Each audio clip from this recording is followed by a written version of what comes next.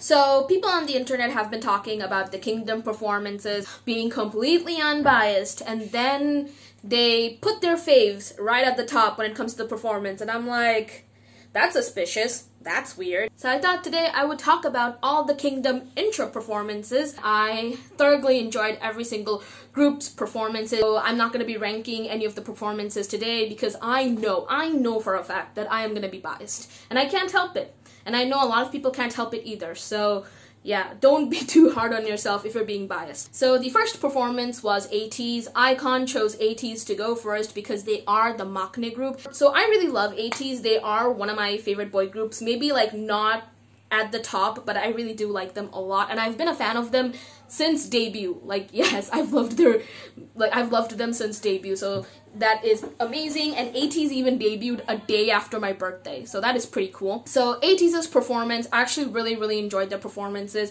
Um, when I watched ATEEZ's performance, I was like, yes, these boys, they embody the pirate concept so perfectly. It's like the pirate concept was made for ATEEZ and ATEEZ only and it was just such a fun performances. And i feel like when san was running through the stage with the torch i don't know it kind of took me out of it. I was like what? But at the same time i really enjoyed it and i thought the performance came together really really nicely. I really felt bad for the ATEEZ members because i feel like they were being too hard on themselves especially Hongjoong i feel like they did a really really good job and i know that they want to do even better which is a good thing but i was really proud of them and i thought ATEEZ did really really well and they should give themselves more credit after ATEEZ, we have BTOB.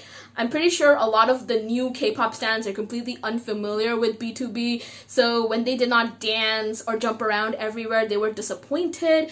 But, but, yeah, there is a but, not Wonho's but, another but, and that is, um, hear me out. This might be controversial. This might be too much for you to handle, but a good performances isn't just jumping around and doing crazy choreography. Okay, a good performance comes in all shapes and sizes. It could be the vocals, it could be the dancing, it could be the rapping, it could be the stage presence. Okay, one factor alone does not defy a good performance. Like, I get it, dancing is a major big thing when it comes to 4th gen groups. I feel like when it comes to 4th gen K-pop, the main focus isn't the vocals, but rather the dancing. That's why every single K-pop group that debuts nowadays, the choreo is always intense and insane levels of complicated, which isn't a bad thing. That's great. I feel like I really enjoy that. BTOB, their main strength is vocals. Now, that does not mean they cannot dance, because they can dance. I know that. They can dance, they can rap, they can sing, they can make people laugh. They are literally one of the most talented people to ever exist. So to see Muse K-pop stans not really appreciate them, and I'm like, yeah, your rat behavior, it's it's showing. It's it's very showing. Yeah, honestly, BTOB, they were singing angels. Like that's the best way to describe BTOB's performance. They were literal singing angels. Like, they were dressed in white and Eunkwang and Minhyuk's uh, harmonization, that was really, really good. I really enjoyed that. And yeah, their singing was just too good forward. BTOB really showcased that they're really good vocalists, but I know that they can do even better than this. So I'm really excited what they have to show for us in the future. Really excited for BTOB because I feel like they're gonna, you know, show so many incredible sides of them. So I'm really excited. Then we have SF9. Ugh, I have got so much to say, so much to vent. So let's begin. So SF9 like BTOB got criticized and you know people were basically saying that they did not really have a concept or that their performance wasn't that good or interesting because they did not do crazy choreo and dancing like the other groups. And I'm like like, honestly, worms for brains. Worms for brains. I'm sorry. And I'm not saying this just because SF9 is my ult group. Like, objectively speaking, it was a good performance. Their dancing was sharp, it was synchronized, their vocals were really, really good as usual. The charisma was there, the stage presence were there. The only issue you could say was when Taeyang's mic fell off. Maybe that, but objectively speaking, it was a good performance. Maybe subjectively speaking, it's not your favorite performance. That's completely fine, okay? Maybe, you know, it wasn't your favorite. You liked other performances better because the other performances suited to your taste better. That's completely fine. I have nothing against that. However, the fact that for the past the month or so, people are claiming that SF9 did not turn in a good performance. That is horseshit. I am sorry. It is. They think that jumping around, doing acrobats, that is a good performance. Like, I'm sorry, it isn't. Doing acrobats and cool, like crazy choreography does not necessarily make you a good dancer hitting really high notes does not necessarily make you a good singer technically. And SF9, they did something different. They did something different than the other groups. And just because they did not conform to it, their, I don't know, their performance wasn't as good. Like, what? I don't get it. I really, really don't get it. Like, I'm sorry if I'm being so ranty right now but it's like it's like it's it really is warms for brains. However, there are people who did watch SF9's performance and they praised them because they did something different and they didn't do what everybody else was doing. So yeah, not all of you, not all of you are weasels. So that's that's good. That's that's really good. But yeah, I really loved SF9's performance. I was really really proud of them. Good Guy is one of my favorite songs for them, and the whole Kingsman suit concept is just so good, and they look so good. They look sexy. They I don't know the performance. I really really liked it, and I cannot stress this enough that a good performance does not mean you have to do crazy choreo. Like BTOB and SF9, they did something different. They did it really well. If it's not for you, that's fine. But don't just sit here and claim that it wasn't a good performance or objectively speaking, it wasn't good or interesting or entertaining. Like, seriously, get out of here with that. My god, Kingdom has barely begun and my blood pressure is already soaring like insane levels of high I don't even know what's gonna happen next week. You know what? I'm just gonna stay away from Stan Twitter because I feel like I see this bullshit, especially on Stan Twitter and sometimes on YouTube, and I'm like, I just wanna leave the internet forever. So there's that. But I can't because SF9 and I have to be in touch with everything and voting and whatnot. Oh, it's such a mess.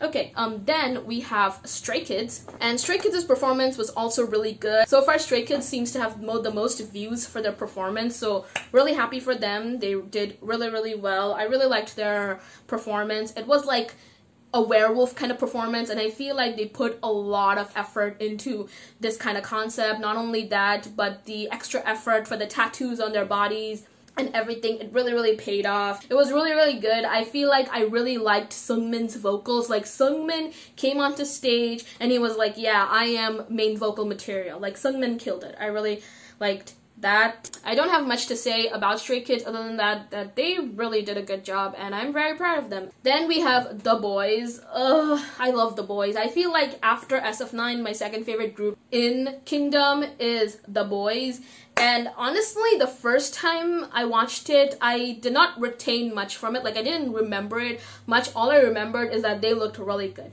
But upon rewatching the performance, it was really good. Like on the second viewing, it was really, really good in my opinion. It was dark and elegant.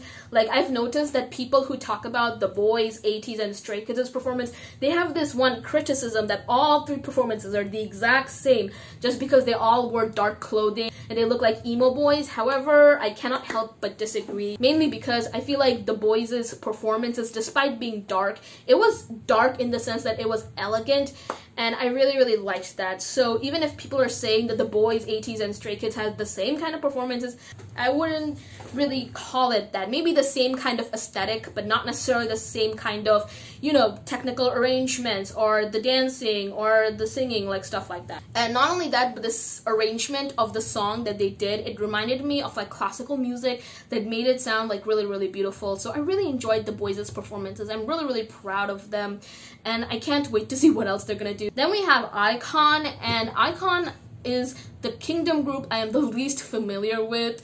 So I need to get that out of the way. I don't know any of the members, but but I did think their performance was a whole lot of fun. Like it reminded me so much of old school Monsta X, and I, I guess that's because uh, iKON and Monsta X debuted around the same time. So that kind of stuff was probably like trending or popping at the time. I could be wrong, so there's that. And yeah, iKON's performance was the most fun and relaxed, and I really liked that. Okay not every single performance needs to be complicated and just, you know, you know, filled with acrobats. Like, I cannot stress that enough. Like, okay, that alone does not make a good performance. So, yeah, I had a fun time with iKON's performance. It's like I was watching a concert performance and they did really really well and honestly when they formed the pyramid thing at the end that was so cool but honestly i thought a lot of thought was put into it that made it really really good are there some performances i like more than others yes there are but overall i feel like every group did a good job. And honestly the competition it hasn't even begun. It hasn't even begun okay? Because it's gonna start i would say in two to three days when the actual round one performances happen. About that sf9 placed fourth and i'm really really proud of them because i was worried that they were gonna be in the bottom two. So i really hope that's not the case for the upcoming rounds. I don't need sf9 to win the competition. Like i would love them. I would love that for them. But all I really want is SF9 to have a good time and to prove to people that they are good performers and that they're very talented and everything, you know? Oh, and another thing, SF9, yeah, they can do acrobats, okay? They can do acrobats if they wanted to. Like, look at Jungle Game, but they didn't do it because, I don't know, they've outgrown that or something. So, yeah, let me know in the comment section below what you thought about the Kingdom performances, which one was your favorite, and yeah, try to be civil in the comment section below. Please do not encourage any fan wars, because, ugh. Because I feel like I'm too old for that. Like, I'm 23, okay? I don't have time to be fighting with K-pop stands of all things on the internet. Granted, I'm one as well. Ugh. But yeah, that's it for me. Thank you so much for watching, and I'll see y'all later. Bye-bye.